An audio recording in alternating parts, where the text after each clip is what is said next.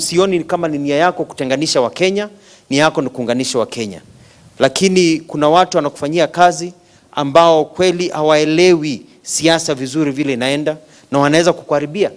Na isitoshe tukataa kujichunga, kama hii kile kinaendelea Machakos ndio kinaendelea Kenya, basi I can predict BBI will collapse.